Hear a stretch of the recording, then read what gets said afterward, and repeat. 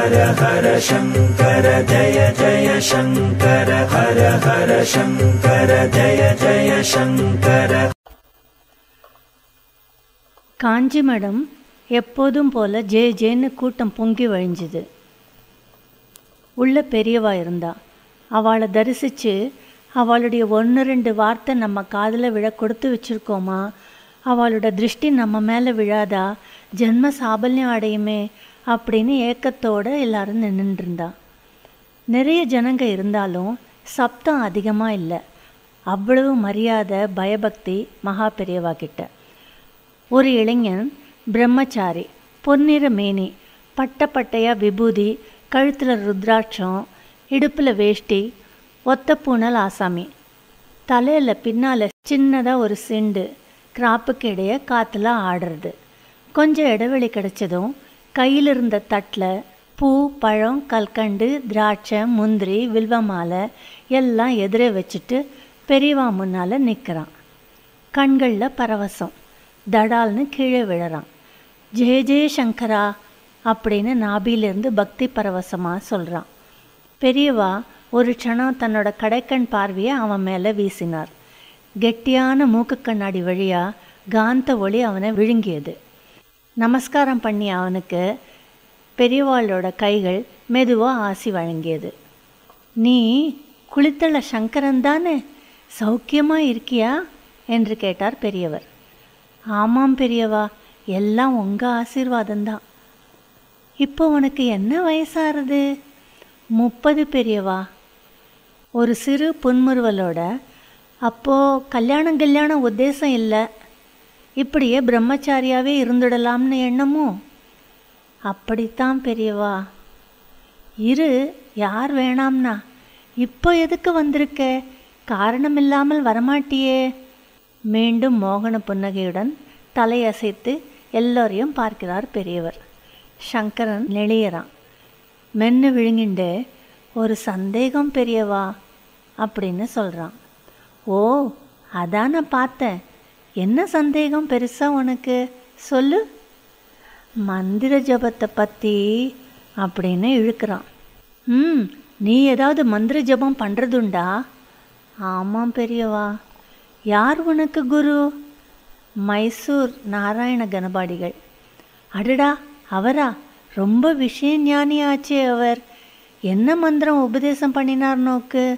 இரு கொஞ்சம் இரு. அந்த மந்திரம் எல்லாம் நீ சொல்லப்படாது. அது ரகசியமாகவே இருக்கணும். எந்த தேவதை மேலேன்னு மட்டும் சொன்னால் போகிறோம் என்றார் பெரியவர். ஹனுமத் உபாசனா மூல மந்திரம் பெரியவா. அது சரி. அதில் உனக்கு என்ன சந்தேகம் வந்துடுத்து? வந்து வந்து ஏழு வருஷமாக அவள் உபதேசம் பண்ணினதுலேருந்து விடாமல் மந்திர ஜபம் பண்ணிட்டு வரேன். அப்படியும் எனக்கு ஒன்றும் வித்தியாசமாக எதுவும் தெரியலைன்னு என்று இழுத்தான் சங்கரன். சங்கரா வித்தியாசமாக தெரியலேன்னு எதை சொல்கிற பெரியவா மந்திர ஜபம் பண்ணுறதால எதுவும் சித்தி அடைஞ்சுதான் எனக்கு படலையே. அவன் குரலில் சோகம் இருந்ததை கவனித்தார் பெரியவர். அவர் பேசினார். தெரிஞ்சுண்டு என்ன பண்ணணும்? மந்திர ஜபத்தை ஆத்மார்த்தமாக பண்ணுறியா இல்லை ஏதாவது ஒரு காமியார்த்தமாக பண்ணுறியா இல்லை இல்லை பெரியவா ஆத்மார்த்தமாக தான் பண்ணுறேன் எனக்கு நான் பண்ணுற மந்திர ஜபத்தால் ஏதாவது சித்தி கிடச்சிருக்கா? மந்திர தேவதையோட அருள் வந்து சேர்ந்துருக்கா? எவ்வளவு தூரம் முன்னேறி இருக்கேன்? ஒன்றுமே புரியலை. கண்களில் நீர் அருவியாக கொட்ட சங்கரன் நான் தழுதழுக்க கூறினான். பரிவோட மகா பெரியவா இதமாக சொன்னார். சங்கரா ஜபம் பண்ணுறவனுக்கு தான் மந்திர சித்தி தனக்கு கிடைச்சிருக்கான்னு உணர முடியும். நேரங்காலம் வரும்போது தானே அனுபவத்தில் இது தெரிய வரும். இல்லை பெரியவா ஏழு வருஷமாக ஒன்றுமே தெரியல. விடாமல் பன்னெண்டு வரேன். என்னால் புரிஞ்சிக்கவே முடியல. மனசு பேதலிக்கிறது. களைச்சு போயிடுறது நீங்கள் தான் எனக்கு ஏதாவது சித்தியாகி இருக்கான்னு சொல்லணும். தலைக்கு மேலே ரெண்டு கைகளையும் கூப்பி கண்ணில் நீர் வழிய பெரியவா முன்னால் மீண்டும் நமஸ்காரம் பண்ணினான் சங்கரன். சில கணங்கள் அமைதியாக ஓட பெரியவா அவனையே உத்து பார்த்தார். அவனுடைய ஆசை புரிந்தது. அவனுக்கு என்ன செய்ய வேண்டும் என்றும் தெரிந்தது. இப்படி உட்காரு. சில வருஷங்களுக்கு முன்னால் ஸ்ருங்கேரி சாரதா பீடத்துக்கு மகா நரசிம்ம பாரதி சுவாமிதி பீடாதிபதியாக இருந்தார். ஒரு நாள் சுவாமியை பார்க்க ஒரு சிஷ்யம் வந்தான். வெறுமன வரல. உன்ன மாதிரியே ஒரு கேள்வியை தூக்கிண்டு வந்தான். நீ கேட்டதே தான் அவனும் அவாக்கிட்ட கேட்டான். ஒரு தட்டில் நிறைய கொய்யாப்பழம் எதிர்க்க வச்சுட்டு நமஸ்காரம் பண்ணிட்டு தன் சந்தேகத்தை கேட்டான். எல்லாத்தையும் கேட்டுட்டு சுவாமி என்ன சொன்னார் தெரியுமா? நீ பாட்டுக்கு ஜபம் பண்ணிண்டே வா ஆத்மார்த்தமாக பண்ணு அந்த தேவதை உனக்கு சித்தி பலனை கொடுக்க வேண்டிய நேரத்தில் கொடுக்கும் அப்படின்னார். அவனும் ஒன்றை போலவே கேட்டான். இதுவரை பண்ணின ஜபத்துக்கு என்ன சித்தியாக இருக்குன்னு தெரியணும். அதை எப்படி தெரிஞ்சுக்கிறது என்று பாரதி சுவாமி சொல்லித் தரணும் அப்படின்னான். சுவாமி சிரிச்சார். அவன் நகரமாட்டான் அதை தெரிஞ்சிக்காம அப்படின்னு அவருக்கு புரிஞ்சுது. அதனால அதுக்கு ஒரு வழி இருக்கே அப்படின்னார். என்ன வழி? என்று சுவாமி சொல்ல காத்திருக்கேன் என்றான் அவன். ஒரு பலகை மேலே நிறைய நெல் பரப்பி உன்னோட வஸ்திரத்தை போர்த்தி மூடிட்டு அது மேலே உட்கார்ந்து ஜபம் பண்ணு. எப்போ அந்த நெல் சூட்டில் பொறிஞ்சு பொறியாகிறதோ அப்போ உனக்கு சித்தியாயிருக்குன்னு புரியும் என்றார் சிஷ்யனுக்கு சுவாமி கேலி பண்ணுறாரோன்னு ஒரு சந்தேகம். தன்னை ஏதாவது சொல்லி அனுப்புறதுக்காக இதை பண்ண சொல்கிறாரோ அவனோட மனசை நரசிம்ம பாரதி புரிஞ்சுண்டார். ஒரு கால் நான் உன்னை இங்கிருந்து அனுப்புறதுக்காக இதை சொன்னேன்னு உன் உள் மனசில் ஓடுறதோ? இரு சுவாமி ஒரு பலகை கொண்டு வரச் சொன்னார்.